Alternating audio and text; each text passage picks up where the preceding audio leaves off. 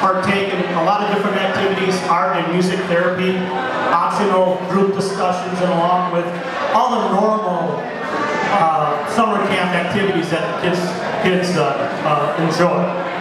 Uh, through the generosity of thousands of people and donors, this camp and everything that comes along with it is completely free to each camper. I believe the first year they did it was about 62, 64 campers. Last year was about 120. This year they're shooting for about 200 campers.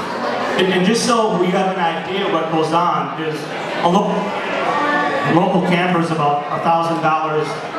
Um, out-of-state campers about 1500 in Alaska and Hawaii is $2,500 to bring a camper here to Wisconsin. All the proceeds tonight, with you buying raffle tickets, 50-50 raffle tickets, 100% of your donation is going to Camp Hometown Heroes. So thank you